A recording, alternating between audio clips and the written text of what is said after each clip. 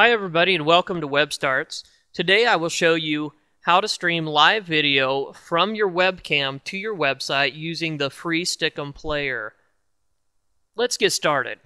If you haven't already done so, you'll need to sign up for a Stickam account. You can do this by going to stickam.com, that's S T I C K A M.com, and clicking on the sign up link in the upper right hand corner and following the steps.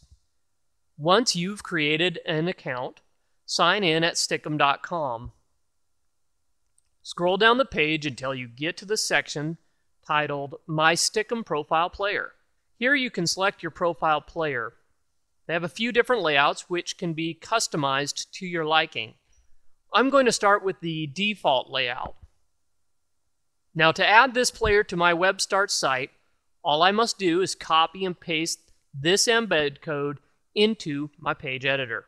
You can copy the code to your clipboard by first selecting the code, then right click, and then choose copy.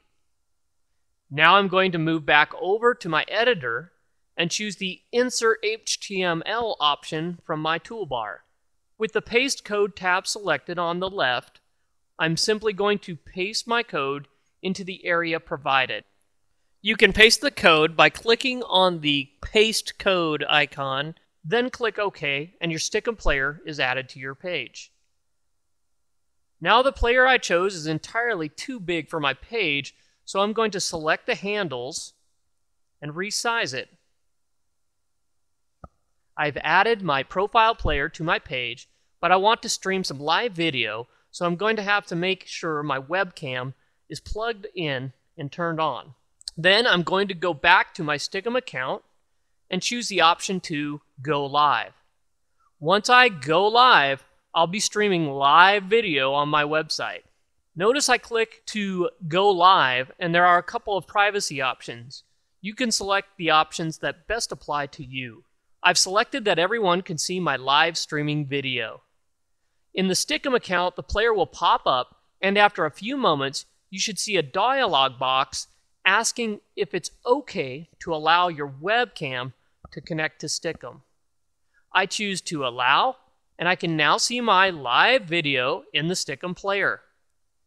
Now I'm going back to my website, and sure enough, there I am streaming my live video on my website. Hi, everybody. I hope you enjoyed the tutorial. There are a ton of great things you can do with WebStarts similar to this, so keep checking back for new demonstrations.